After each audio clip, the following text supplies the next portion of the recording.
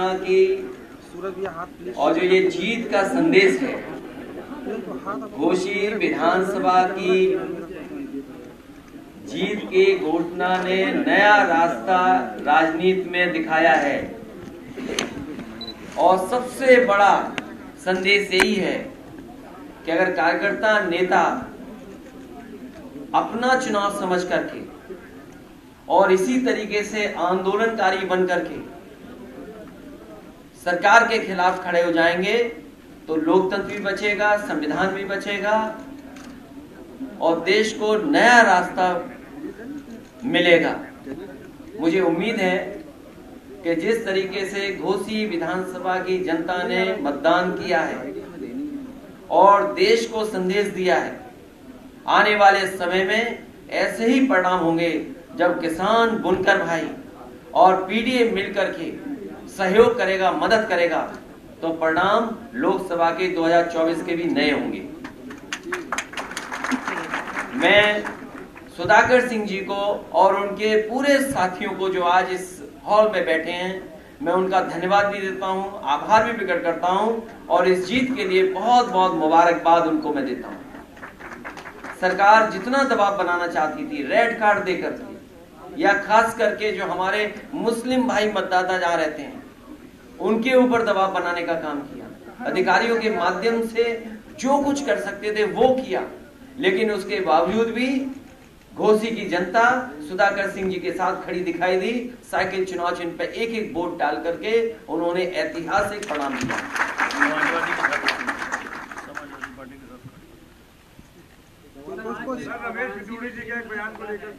देखिए, लोग केवल चेहरे से नहीं पहचाने जाते हैं। अपनी ज़ुबान से भी पहचाने जाते हैं। और बीजेपी के कोई, ये पहले नेता नहीं है। बीजेपी के अगर आप पुराना आर्काइव से चीज़ें निकालोगे तो बहुत सारे ऐसे नेता निकलेंगे, मिलेंगे, जिनकी इससे भी खराब भाषा है। ऐसे नेता, ऐसे सांसद को जिसने नए लोकसभा में इस तरह की बात कही हो, उसे आजीवन, ताउम्र पाबंदी लग जानी चाहिए चुनाव लड़ने के लिए। बनारस में आज प्रधानमंत्री नरेंद्र मोदी जा रहे हैं सर। तो देखिए बनारस आए क्यूटो से नहीं आए ना? भाई वादा तो इस बात का था ना कि क्यूटो होगा। लेकिन उत्तर प्रदेश की सरकार ने क्यूटो ही नहीं बनने दिया। ये उनकी बात है। तो बोलिए आईएनडीआईए की सीटों को लेकर क्या आईएनडी नहीं इंडिया। इंडिया इंडिया की सीटों को लेकर। समाजवादी पार्टी समाजवादी पार्टी का स्टैंड क्या है? समाजवादी पार्टी का स्टैंड क्लियर है। लोकतंत्र बचाना है संविधान बचाना है। बाबा साहब भीमराव अंबेडकर जी के रास्ते पर डॉक्टर राम लोहिया जी के रास्ते पर और नेताजी के संघर्ष के रास्ते पे चल करके देश को बचाना है लोकतंत्र को बचाना है। जी जी समाजवादी पार्टी कितनी सीटें मांग रही है और इसके अलावा समाजवादी पार्टी सीटें नहीं मांग रही समाजवादी पार्टी सीटें दे रही है।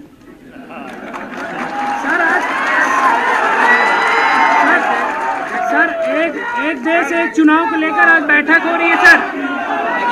एक देश, एक चुनाव को लेकर आज दिल्ली में बैठक हो रही है।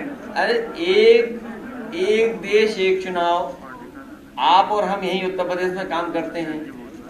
अगर उत्तर प्रदेश में विधानसभा का भी चुनाव हो जाए एक साल बाद या छह महीने बाद तो हम समाजवादियों से और उत्तर प्रदेश की जनता से ज़्यादा खुश कौन होगा? अध्यक्ष जी अध्यक्ष जी सवाल इसलिए हो रहा है कि कांग्रेस भी सीटें मांग रही है। तो मांगना तो अच्छी बात है। मांग रही है। तो हम और आप तय थोड़ी करेंगे। हम और हमें और कांग्रेस या जो भी दल है उनको मिलकर के तय करना है। जब मैंने आपसे कहा कि समाजवादी पार्टी के और समाजवादी लोगों का इतिहास उठा लीजिए। समाजवादियों ने लोगों को जोड़ने का काम किया है। और बढ़ चढ़ करके भी अगर साथ लाने के लिए कुछ हमें त्याग भी करना पड़ा होगा तो त्याग भी किया है। लेकिन इस बार लड़ाई बड़ी है। 2024 की लोकतंत्र और संविधान बचाने की लड़ाई है। इसलिए हमारी पार्टी सबको साथ लेने के लिए तैयार है। कल जिस तरह से उनका बयान आया था बहुजन समाज पार्टी की तरफ़ से वो स्टैंड नहीं लिया गया जैसे उनको लेना चाहिए था। किसका? दानिश अली को दानिश अली समाजवादी पार्टी के भी तो हैं। किस गलत फहमी में आप? आप रिज़ल्ट नहीं पता वो कब का है रिज़ल्ट अरे एक सवाल और है मध्य प्रदेश और राजस्थान में चुनाव होंगे समाजवादी पार्टी चुनाव लड़ेगी? समाजवादी पार्टी अपने संगठन के साथ बातचीत कर रही है। संगठन के लोग लगातार सुझाव दे रहे हैं। जहाँ पार्टी का संगठन है और पार्टी जो गठबंधन बना है बड़ा देश का बातचीत कर करके ही आगे बढ़ेंगे। केशव मौर्य का कहना है कि एक घोषी जीत कर बहुत फूलने की ज़रूरत नहीं है। 2024 में पता चल जाएगा समाजवादी पार्टी को। ये कौन है भाई? केशव मौर्य जी ने बयान दिया था मीडिया देखिए एक लोहा लोहे को काटता है। बीजेपी की रणनीति जान लो, समझ लो क्या है। इसलिए बीजेपी पे सोचिए, उसी के बारे में तय करिए। यहाँ पर हार हुई है मुख्यमंत्री जी की। आप गलत फहमी मत रहिएगा। आप एड के हिसाब से सवाल मत पूछिए। एड ज़्यादा हो जाएगा तो उसी से आकर सवाल पूछेंगे आपसे। ये हार हुई है मुख्यमंत्री और सरकार की। इसलिए उनको सरकार को स्वीकार करना चाहिए कि हार उनकी हुई है।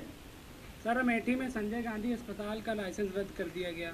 वरुण गांधी उप मुख्यमंत्री को पत्र लिखे अच्छा जो अस्पताल चल भी रहे वहाँ इलाज मिल रहा है क्या? आप लोहिया में चले जाइए। क्या इलाज मिल रहा है? पीजीआई में कल मैं होकर के आया हूँ। क्या दुर्दशा है सोचिए आप। आज गरीब को इलाज नहीं मिल पा रहा है। और ये सरकार बताए कि 10 साल में गरीब के लिए अगर कोई जिला अस्पताल बनाया हो तो बता दो।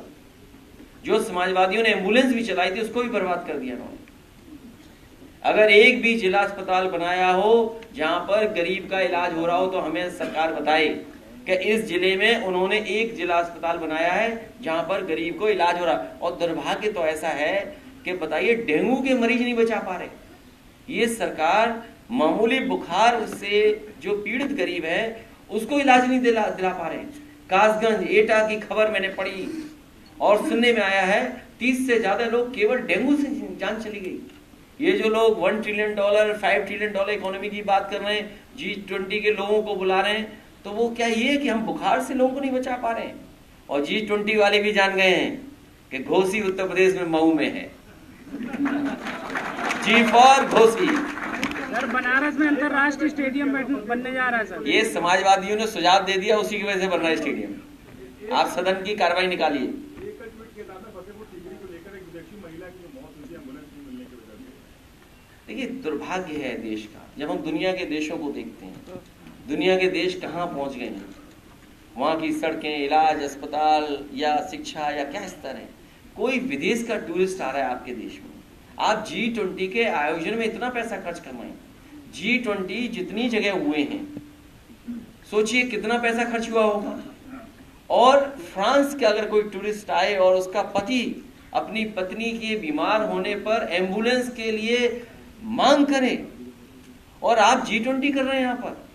आप दुनिया के दूसरे देशों को दिखाना चाहते हो कि हम इतना ताकतवर देश बन गए और एक मामूली एंबुलेंस नहीं दे पा रहे आप एक टूरिस्ट के इलाज के लिए।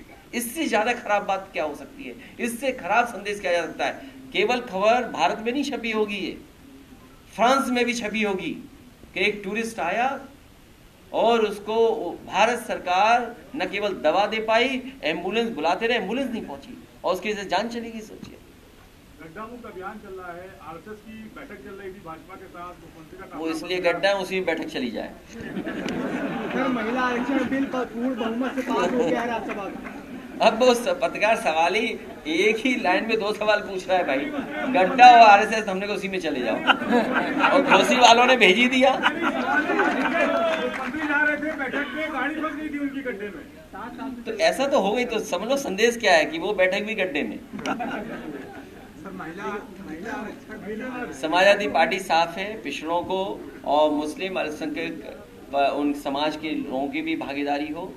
और जो सुझाव नेताजी ने दिया समाजवादी पार्टी का पक्ष रहा कि पार्टी बेस्ड भी होना चाहिए रिजर्वेशन हम उसी पक्ष में आज भी। देश विदेश की ताज़ा खबर पाने के लिए हमारे चैनल वी न्यूज़ को सब्सक्राइब करें व बेल आइकॉन दबाना न भूलें।